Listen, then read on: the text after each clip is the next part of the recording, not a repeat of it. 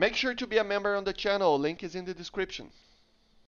Hello guys, once again it's Matt and today we have another video. Thank you my members Astropub, Patrick, uh, Silami, Vivi and Lafouche. Thank you all for being members, it helps a lot and let's get into it. So today we are going to check it out.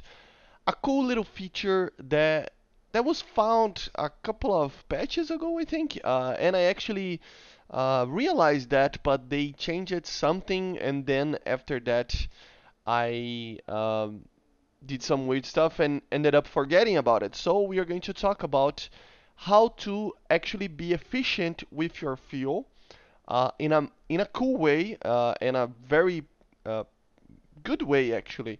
Uh, so today let's uh, get to a test flight first. I'm going to get 20 minutes. India 14 because it's an aircraft that consumes a lot of fuel and yeah. And uh, first of all let's talk a little bit about these stuff that are on the screen. I'm actually using the War Thunder real-time information uh, like executable or program. It's an overlay program so it's not uh, it doesn't change anything in the game. It just reads stuff uh, from the server of the game and tells me about it over overlaying over the game so it's uh, completely safe uh, at least for my knowledge. I talked with the guys on Gaijin and they said it's uh, it's fine to use it so yeah I'm using it. Really easy to install. I'm going to leave it in the description if you want to. Uh, you just have to click it and then you configure how you want to if you guys want to I can make a video on that as well. But yeah the information that I have there of course uh, up there is the sweep angle the heading of the aircraft the AOA the climb rate turn rate the G's that I'm pulling. But down there I put it down below the the little uh, thing there. I, I, I, will change some of this stuff uh, probably in the future but for now this is fine. Just to show a little bit. And there we have the fuel uh, how much fuel we have in kilograms. Uh, the fuel consumption, as you see, 2.64 uh, kilograms per minute. Uh, the thrust, so 98 kilograms uh, force, you know. And then the RPMs of the engine. If I turn the engine up, as you see, let's take off. As you see, the power is increased. Obviously, we are getting air, we are getting a lot more consumption and as you see the higher the speed that I go the most the more amount of fuel it consumes uh, you know it consumes uh, because obviously there's more air getting into the aircraft. And as you see on the fuel on up there on the time fuel on the normal uh, HUD that we have it's consuming a lot of fuel. So as you see the kilograms are just depleting very very fast and obviously it's a problem sometimes because you consume a lot of fuel and you just are you want to just uh, basically in a battle you want to be as light as possible but with a very good fuel consumption as well uh, which makes it so that it's kind of problematic sometimes in an aircraft like this that you have to use actually a full um, tank for example to to five minute battles you know and you are heavy AF. So yeah, one way that you can actually bypass this is to actually configure configure the the fuel stages of afterburner obviously because the afterburner is actually the main thing that actually uh, burns a lot of fuel. As you see I'm burning uh, basically 100 kilograms of uh, fuel per minute. And if I go to full afterburner it goes to a thousand. So it's 10 times more more fuel that it consumes, you know, uh, and that depends on a lot of things, you know, speed and temperature and a lot of things. But still, as you see, uh, basically 120 kilonewtons per engine, so very strong engine as well. Uh, but still, it is a problem because you don't want to be as heavy as uh, possible. You know, you want to be as light as possible. So, what do you do to make it so that you actually have a a middle ground between the full afterburner and the normal military power because it's a lot of change.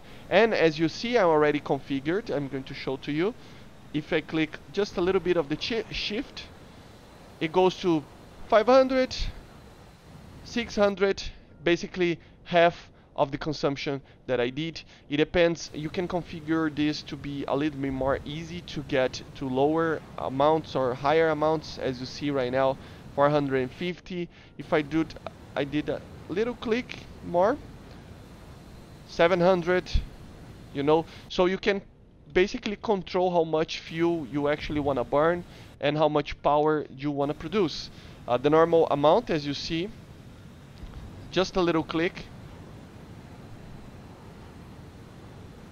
600 it's fine and the amount of power is better than the power that you produce. I mean, it's twice as many power as you at least as you produce in military power, but you are consuming a lot less fuel as you see.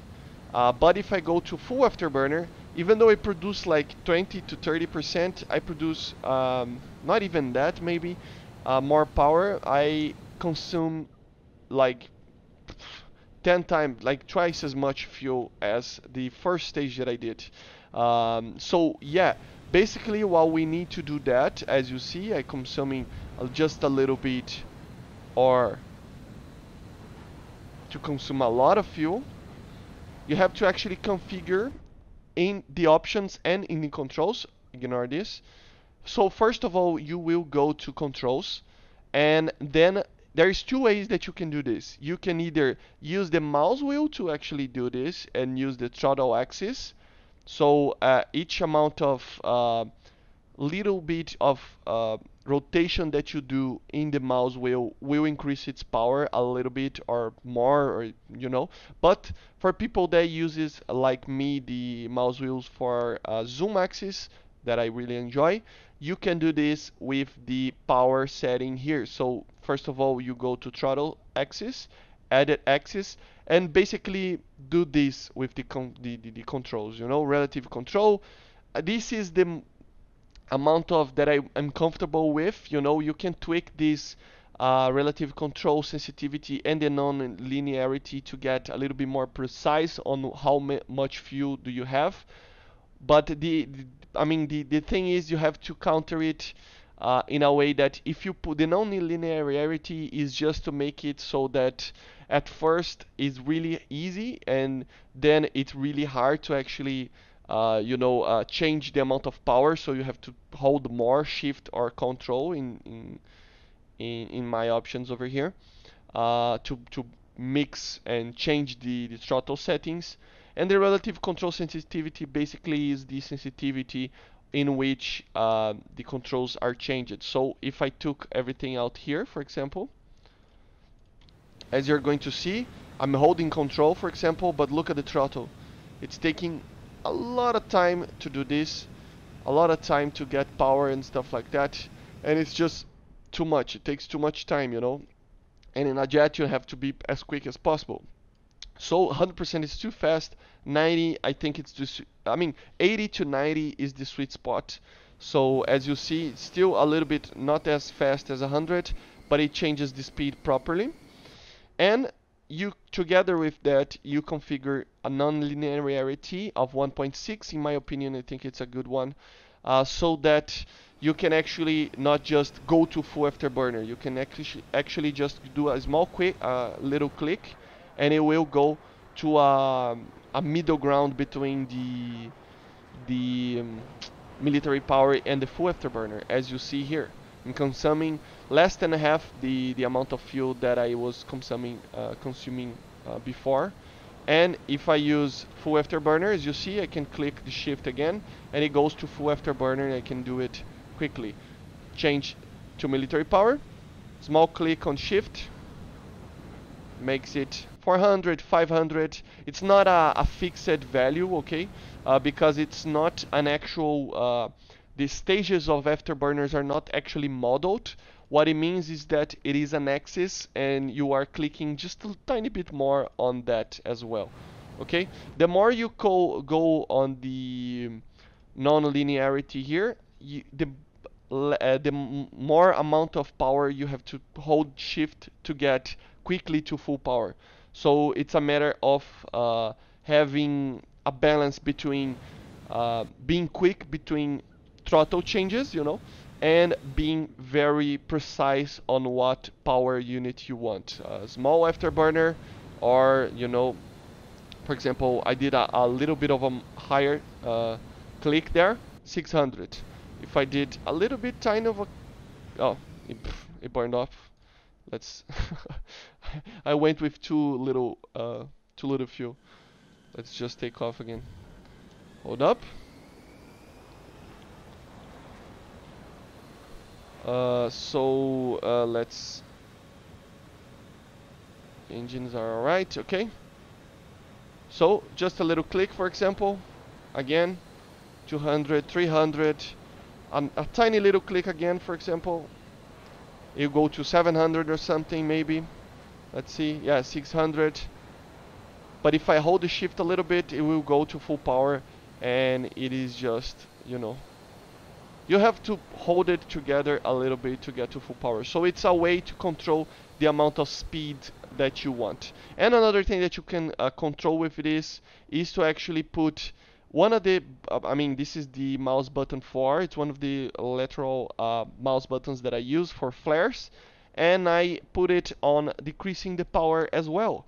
So what it what this means is that when I'm full afterburner and I'm just um, click the flares button it changes to military power. It helps a lot uh, when you are just flying around and you see a missile quickly and it will make sure that you lose the afterburner to actually make it so that you don't die. So yeah so just remember that uh, very cool option and let's test it out in some other aircraft as well and don't mind the the, the, the program that I was talking about, it doesn't change anything in the game, you know, it's not a hack or anything like that. It's just reading stuff directly from the game and showing it to me on the HUD. I could just fly around on the inside of the cockpit and depending on the aircraft you can actually see the consumption and other stuff here. So it's basically just reading stuff, but uh, in simulator it helps a lot because you actually have uh, plenty of uh, informations that normally sometimes uh, they don't have inside the cockpit. So that just helps you a little bit. And it's uh, stuff that you would normally see in an aircraft normally.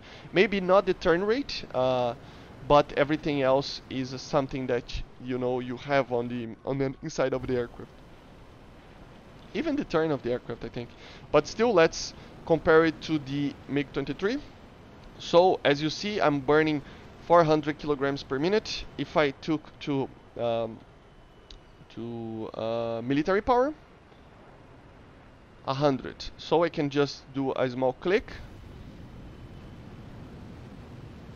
So 300, for example. If I hold it a little bit, even more power, 500. Military power again. Small click, so you have many many uh, different types of afterburners. In that manner you can produce more power less power. I mean I'm still producing 140 kilonewtons as you see. And if I do to um, military power I'm producing 84 kilonewtons. So yeah it's a large difference as you see. Let's go that way so that we can actually test a little bit more. And as you see the fuel consumption decreases a lot with this. And the power is still very good. I mean I'm not consumption I mean basically half of almost half that I was uh, consuming consumptioning uh, consuming sorry uh, before but I'm still producing 130 kilonewtons. I mean it's just 10 kilonewtons less than I was producing before. And to be honest to compare it to yeah this engine can produce 158 kilonewtons. So yeah compared to I mean 85 84 kilonewtons as you see I do a small little click and it goes to 130 kilonewtons consuming basically half of the fuel so it is just a way to be more efficient be more precise on what you are doing and yeah pretty cool right uh, and a fun thing to do is look at the climb rate on this aircraft man Look at that, 300 meters per second. Obviously, it cannot hold this forever, but still it's fun to see that number going there. Uh, and yeah, the less speed that I get, as you see on the power, even pulling G's can decrease your power, as you see. Look, because of the intake, obviously, of the engine. So it depends on the airflow as well and obviously because I'm producing less power I mean look at this in a turn like this I'm producing basically the same power as I was producing before if with military power. So this is just a very weird thing and very fun to actually play with this this program, you know. And let's um, take a look on another aircraft that has a very bad consumption rate. So we are here with the Viggen, obviously one of the aircraft that pff, consumes, I mean, it doesn't consume that much fuel to be honest, but it's just that it's it doesn't carry that much. I think I don't know. Let's test it out. It's the first time I'm I'm actually flying this aircraft with the program, so I I really don't know. Let's take off. So the more speed that I get, uh, the more air is entering the engine, the more air the compressors are compressing, and then I get more power as you see the more speed that I get, the more power I get, uh, obviously. But yeah, the consumption is not that amazing, as you see. I mean, it's it's really great, you know. It's it's really high, uh, com especially compared to the to the MiG 23. But it, the MiG 23 is very efficient, so. But as you see, yeah, we are losing a lot of fuel very quickly. I mean, yeah, if you think about it, it I mean, it consumes basically 60 to 70 percent of the fuel that an F-14 consumes with just one engine so it's a very dirty engine but as you see 161 kilonewtons. Very very strong engine even stronger than the MLD one. Uh, and as you see let's go for military power. Just as small I was consuming almost 700 kilograms of uh, fuel per minute. Small click. 400 still producing 140 kilonewtons. Being way more efficient being way less um, problematic with the fuel as you see and it's just it's way better you know way better. So it's a thing that it, it helps a lot you know it, it, really does help a lot. Helps you make sure that you are not uh, using the most amount of fuel always. So yeah it's just a matter of being fuel efficient and carrying less weight at the start of the match. With this you can carry 20 minutes 30 minutes with these aircraft. You don't have to carry 40 50 minutes of fuel which can be like a ton more of fuel two tons more of fuel. So yeah it changes a lot on the on the fuel consumption and on the amount of weight that you receive. And obviously you still have the power if you want to. You just click shift again and you will have the power. Or turn the wheel again as you saw you can put in here and use as a throttle axis as well. So for example here I'm using it as a throttle axis. It becomes a lot more precise to be honest and a lot better uh, but it's just a matter of options you know? As you see I'm putting like one this is one first stage second stage third stage and the fourth stage I think it's the last one. Yeah. So yeah it's just a matter of uh, it changes the way that you fly the aircraft and stuff. But I really enjoy having the the zoom you know? So I it's kind of a mix between that. I mean I wish it had a, another thing. I will try to get uh, a configuration for the shift uh, to be a little bit more precise and a little bit more effective with the, the button but we don't need it. It's just a, a half measure but it's it's good enough you know. So this way you can have the still the the, the, the zoom and just a small click makes it so that you have one of the stages of the afterburner as you see half half a stage you know. So I hope you enjoyed a very cool and very capable uh, uh, feature and very good to actually help you consume less fuel. So I hope you enjoyed I hope you um, make sure to subscribe and I see you guys on next one. So bye guys